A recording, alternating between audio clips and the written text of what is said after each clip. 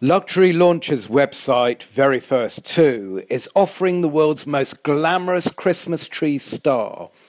The unprecedented piece has been created by 77 Diamonds, the leading European online diamond jeweler, who offer the world's largest selection of loose diamonds.